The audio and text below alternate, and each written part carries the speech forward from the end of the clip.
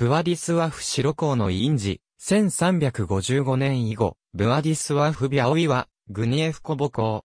ポーランド王カジミエッシュ三世の重帝である、グニエフコボ公カジミエッシュ三世の息子。白公の衣装で呼ばれた。父方の叔母に、ハンガリー王妃となったフェネンナが、鉄村に、ポーランド女王ヤドビガがいる。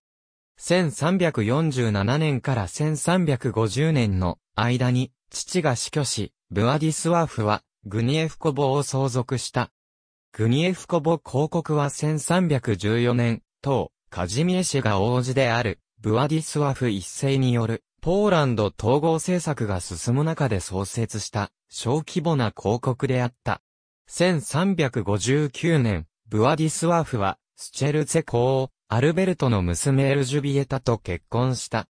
しかし、エルジュビエタとは結婚して1、2年後に死別し、悲しみに打ちのめされたブワディスワフは、自分の封建上の主君である、ポーランド王カジミエシュ3世に1000フローリンで広告を売却することを決めた。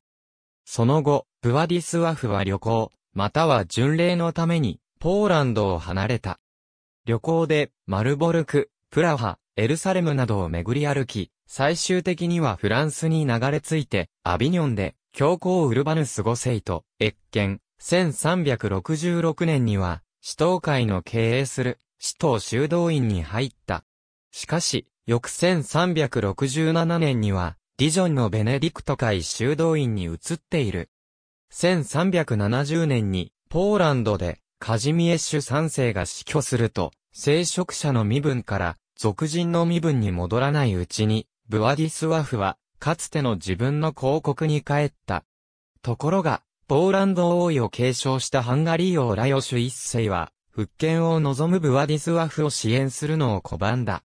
そこで、ブワディスワフは、ポーランド王位を要求して、ラヨシュ一世に対する反乱を起こした。